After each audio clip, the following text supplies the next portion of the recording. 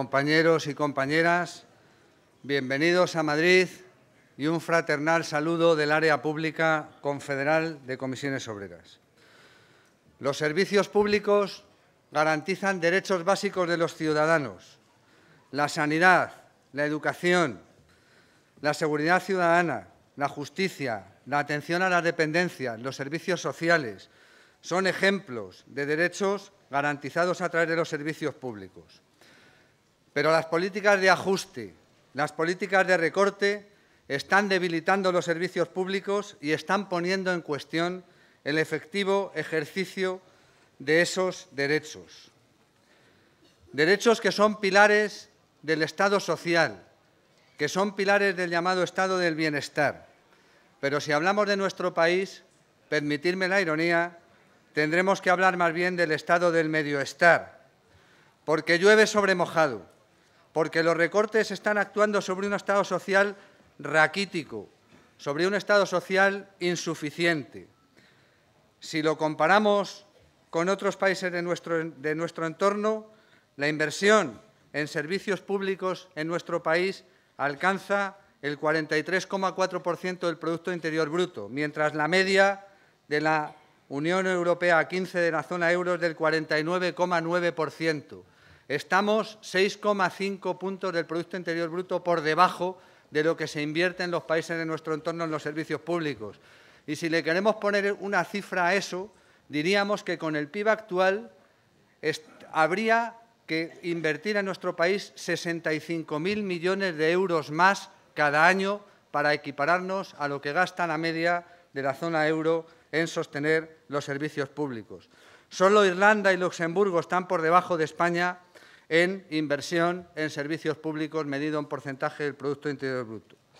Lo mismo ocurre si hablamos del empleo público. En España, solo 12,9% de la población activa trabaja en los servicios públicos, mientras la media de la OCDE alcanza el 18% y la media de la Unión Europea 15 sería todavía superior.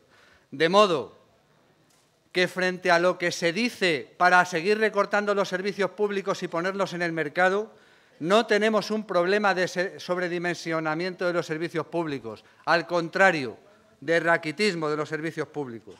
Nuestro problema no está en el tamaño de los servicios públicos, está en, en los ingresos, está en lo que nuestro país ingresa. La presión, los ingresos fiscales en nuestro país están nueve puntos por debajo de la media de la Unión Europea a 15. Y en ese contexto hay que seguir trabajando por mejorar nuestros servicios públicos, para reforzar nuestros derechos, y más en un escenario de crisis como el que vivimos, en el que los servicios públicos podían actuar de colchón para los ciudadanos más desfavorecidos, para los ciudadanos más desprotegidos. Y para eso es necesario el sindicalismo de clase y sociopolítico que representa a comisiones obreras. Un sindicalismo que disputa la distribución primaria de la renta en la empresa, en la negociación colectiva, pero que sabe que en los servicios públicos, en la sociedad, también se dirime la distribución de la renta, porque si nos recortan en los servicios públicos, además de recortarnos derechos, también nos están recortando la renta. Si suben las tasas universitarias, podemos haber conseguido un buen convenio, pero si tenemos que llevar a nuestros hijos a la universidad, nos están bajando el sueldo más de lo que a lo mejor hemos conseguido que nos lo suban en la negociación colectiva. Por lo tanto, hay que seguir trabajando por los servicios públicos en un escenario en el que el Gobierno manda un mensaje muy claro. Cuando ves el anteproyecto de ley de presupuestos para el 2015, te está diciendo más de lo mismo. Llueve sobre mojado, recortes sobre recortes. A los 400.000 empleos públicos que hemos perdido le vamos a añadir unos cuantos miles más, porque la tasa de reposición de efectivos va a impedir que en el conjunto de las administraciones públicas se convoquen ofertas de empleo público. Va a seguir amortizando empleo, el 0% con carácter general y para los servicios esenciales el 50%. ¿Qué quiere decir eso? Quiere decir que en los servicios esenciales todavía seguiremos perdiendo empleo después de los miles de profesores, de sanitarios despedidos, ¿eh? todavía seguiremos perdiendo uno de cada dos y en el resto de las administraciones públicas todos. Por ahí no vamos a pasar porque están en juego nuestros derechos. Y quiero dedicarme brevemente a hablar de educación también. Cuando decimos que están en juego nuestros derechos, quiero deciros que en este país empieza a estar en cuestión el derecho a la educación. Los recortes amenazan el derecho a la educación. Y quiero contaros una frase de solo nueve palabras que explica claramente cómo ve el Partido Popular, cómo ve el Partido del Gobierno la educación. Estaba en el preámbulo de borrador de la ley educativa, de la ley orgánica de mejora de la calidad educativa que ha aprobado el Gobierno y solo lo pusieron en el primer borrador. Se generó tal controversia que lo tuvieron que quitar, pero lo quitaron del eh, preámbulo de la ley, pero no lo quitaron del espíritu de la ley y no lo quitaron de las políticas. Y esa frase decía así, la educación es un bien orientado a la empleabilidad. Lo segundo es reduccionista. La educación no está orientada solo a la empleabilidad, que también está orientada a más cosas, a formar ciudadanos que puedan ejercer sus responsabilidades cívicas y democráticas, a formar personas que sean capaces de hacerse cargo de sus proyectos vitales, muchas más cosas. También la empleabilidad, no solo la empleabilidad. Pero esto de que la educación es un bien supone un cambio de paradigma y una quiebra del consenso constitucional, porque la Constitución española dice que la educación es un derecho. Y como todos sabéis, un derecho y un bien no es lo mismo. Un derecho tiene carácter universal, subjetivo. Desde que naces como ciudadano de este país eres titular del derecho a la educación, a la salud. Insisto, tiene carácter universal. Los bienes los provee el mercado y no los provee con carácter universal. Solo acceden a los bienes quienes están en la posición relativa en el mercado que les permite acceder a los bienes. Ese es el cambio que se está operando no solo en la educación, pero también en la educación en nuestro país. La educación en el mercado, la pérdida, el debilitamiento del derecho a la educación. Y la LONCE es un compendio y no me extenderé a explicar esa ley educativa, pero es un compendio de cómo se debilita el derecho a la educación en nuestro país. Pero el derecho a la educación también se está debilitando como consecuencia de los duros recortes que está habiendo en educación. Salía eh, Cospedal, salía Rajoy en el vídeo diciendo la sanidad y la educación no se tocan. Pues si las llegan a tocar, no sé dónde nos habrían puesto. Solo os voy a dar dos cifras. En el año 2009, techo del gasto educativo en nuestro país, de la inversión educativa, nuestro país invertía en educación el 5,07% eh, del Producto Interior Bruto. Hoy invierte el 4,3%, 7.000 millones de euros menos que en el año 2009. Pero se han comprometido con Bruselas que en el año 2007 alcanzaremos o retrocederemos hasta el 3,9% otros 4.000 millones de euros menos, además de los 7.000 que quitaron, otros 4.000 millones de euros más van a quitar en los próximos tres años en educación para llegar hasta el 3,9 del Producto Interior Bruto. Dejarme que os diga que esa es la cifra que se invertía en educación en nuestro país en el año 1987. Vamos a volver al año 1987. Menos mal que no iban a tocar la educación y la sanidad. Pero dejarme que os diga también que en el año 1987, cuando invertíamos el 3,9% del Producto Interior Bruto en educación, la educación era solo obligatoria hasta los 14 años. Hoy está hasta los 16. Hay decenas de miles de alumnos escolarizados más que en el año 1987.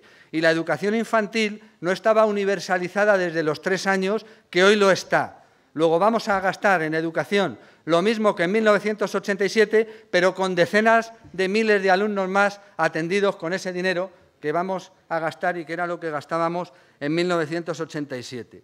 Claro, a medida que disminuye el gasto público, porque pasan cosas, aumenta el gasto privado.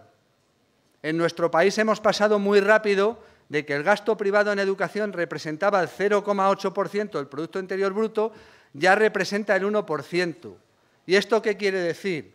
Esto quiere decir que si entre el año 2012 y el 2013 quitaron 600.000 ayudas de libros de texto, pasamos de un millón a 390.000, quiere decir que los 600 y pico mil beneficiarios de ayudas de libros de texto se las pagan ellos, ya se pagan ellos los libros de texto. aunque estén en el paro, ¿eh? tienen que pagarse los libros de texto porque le han quitado las ayudas. Menos gasto público, más gasto privado. Y el que no tiene para comprarse los libros de texto tiene un problema. Igual que los que disfrutaban de las miles de becas de comedor que se han quitado. Por lo tanto, se dibuja un sistema educativo más, ah, menos capaz de atender las necesidades de los ciudadanos, más injusto. Y quiero también deciros que este curso que acabamos de empezar vuelve a ser más de lo mismo. En los últimos cinco años la educación pública ha crecido en 500.000 alumnos. Y desde el año 2012 para acá, habiendo crecido en 500.000 alumnos, se ha reducido en 32.800 profesores. Esa ecuación pues es una ecuación imposible de resolver. Consecuencias. El número de alumnos por aula ha aumentado mucho. No es infrecuente clases de bachillerato con 38, 40, 42 alumnos. Y quiero deciros que en el año 1974, cuando yo estudiaba bachillerato, tenía en mi clase 42 alumnos. Ahora, en 2014, después de los recortes, hay clases de bachillerato con 42 alumnos, como en 1974. 74. Los alumnos que necesitaban medidas de apoyo para poder aprobar y titular, clases de refuerzo, eh, desdobles, medidas que desplegaba el sistema educativo para que los alumnos que se retrasan más puedan titular y no irse a la senda del fracaso escolar y del abandono educativo temprano, que somos campeones europeos, España es campeona europea de abandono educativo temprano, eh, pues las medidas de apoyo que tenían se han volatilizado ya no hay. No hay esas clases de refuerzo, antes se han quitado muchas. Por lo tanto, menos calidad para todos y los alumnos que necesitan medidas de apoyo del sistema educativo más expuestos que nunca al fracaso escolar y al abandono educativo temprano. La universidad también ha sido duramente atacada por los recortes. Se han quitado entre el 2010 y el 2014 tiempo Voy terminando. Se han quitado 1.400 millones de euros, más de 5.000 profesores y profesoras. Han crecido las tasas académicas y se han reducido las becas y se han endurecido los requisitos para acceder a las becas.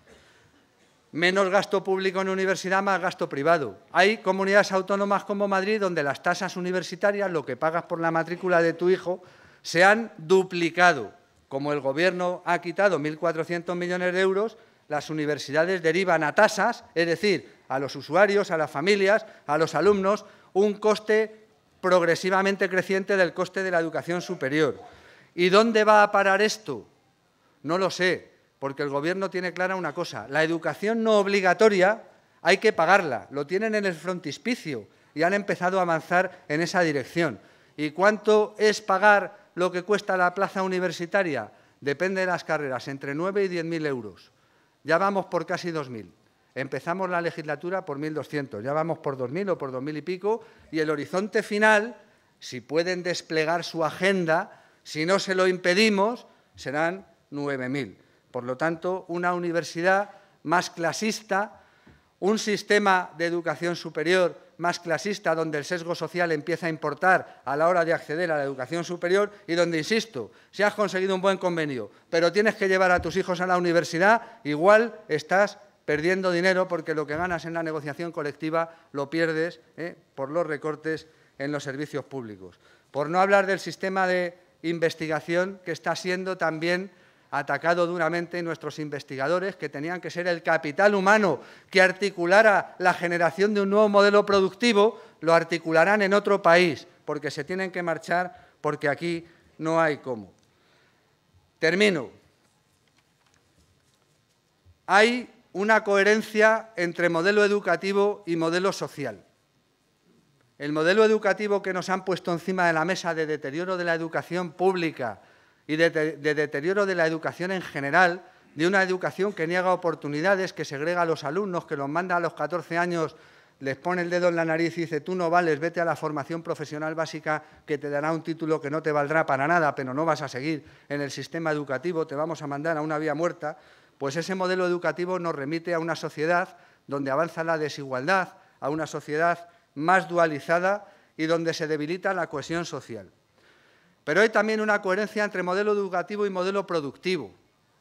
Y este modelo educativo que nos ponen encima de la mesa está muy lejos de generar una sociedad del conocimiento que dé soporte a una economía del conocimiento que nos permita competir con el valor añadido del capital humano. Este modelo educativo que nos ponen encima de la mesa es coherente, permitidme la ironía, con el modelo productivo de Eurovegas, pero no es coherente con el modelo productivo que necesita este país si quiere competir con el valor añadido del capital humano. Termino diciendo, Comisiones Obreras ha trabajado desde la movilización contra estos recortes, hemos generado la unidad de la comunidad educativa, hemos hecho dos huelgas generales de la comunidad educativa, hemos estado en la calle, pero también tenemos propuestas. No nos queremos quedar solo en la respuesta, tenemos propuestas. El libro verde de la educación, estamos haciendo la campaña ahora, la educación que queremos, porque queremos situarnos ante este Gobierno o ante el que pueda venir, armados de una serie de propuestas para mejorar el sistema educativo. Porque, termino diciendo, que sin educación no hay futuro, ni en términos de cohesión social, ni en términos de desarrollo económico. Muchas gracias.